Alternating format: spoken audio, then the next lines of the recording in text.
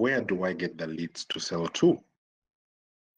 This is one of the questions that we get asked the most. And in this video, we're going to share our new product, our new tool that we launched in order to answer just that very question. Trembi is an all-in-one sales tool. Our goal is to provide you all the tools and all the resources to ease your selling experience. And among the latest features we launched is what they call the prospecting tool. This prospecting tool is an a complete database where your salespeople can get an unlimited number of contacts to sell to, whether it's the contacts of the companies, whether it's the contacts of the individuals, or any bidding information to ease their selling experience.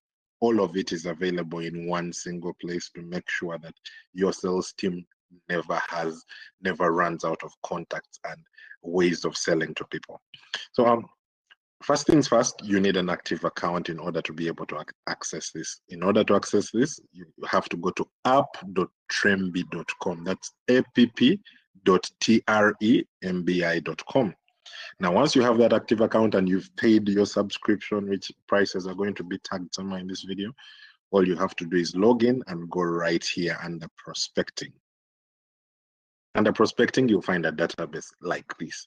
Uh, it has companies, and it has uh, people and it has bidding information. Now, the main advantage behind this core platform is that data is broken into four major components, which are the main components that people always look for. Component number one is company data, meaning say I have a product that I sell to manufacturing companies, I can as well come here and say literally get me people who are within the manufacturing space within country XYZ. And the moment I select this, automatically the system will bring me a ton, a ton of uh, companies. Uh, in addition to that, once I select any of the companies, it goes ahead and even brings me number one, who are some of the decision makers within that, that company, and number two, what are some of the related companies that are near that company that I have selected.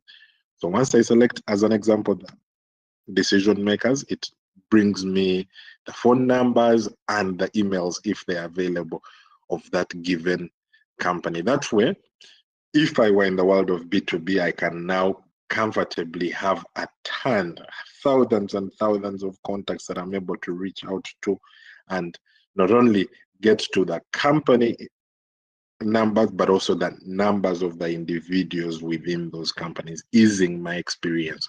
So, criteria number one, like I said, is company information. So, criteria number two is location information. As an example, I can search for companies in Nairobi. I'm just using this as an example but this could as well be Kampala, this could be Johannesburg, South Africa. And the moment you select Nairobi, as you can see, it's bringing me businesses that are located within that given jurisdiction. And I can exactly do the same thing.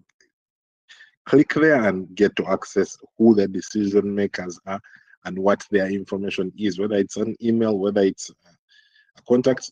Most importantly, I'm still able to save that information. I can go ahead and save that contact and that contact would I would be able to access it from right here and trigger a lot of marketing communications depending on that one given thing. Uh, so criteria number two is location. Criteria number three is gender, meaning I can get men. If I have a product that is intended for women specifically, I can as well share. As an example, makeup.